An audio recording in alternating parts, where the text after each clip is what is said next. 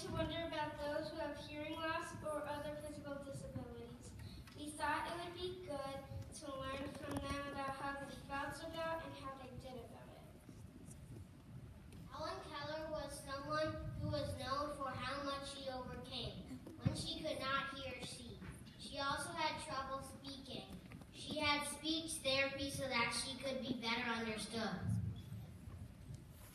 We thought about her and about Hans Christian Andersen, the author we had just studied, and all he overcame in his life. And he had trouble in school, and learning was not easy for him.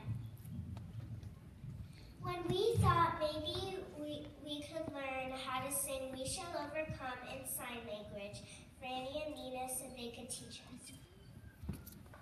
Helen Keller overcame a lot in her life, but that didn't stop her from going to college, but it also did not stop her from helping others. Helen went on to become a world famous speaker and author. She stood up for people with, phys- with physical disabilities. All over the world, people with hearing loss were helped by Helen.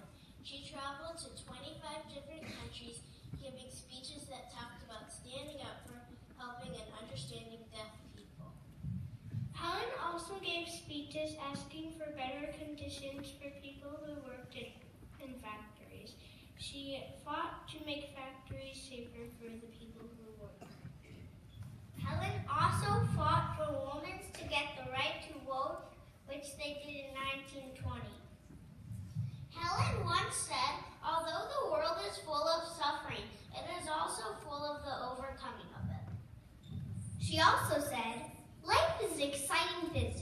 and most exciting when it is lived for others. We would like to sing and sign We Shall Overcome for You Now with Nina. Our big sister Franny is in Washington, D.C. on a march.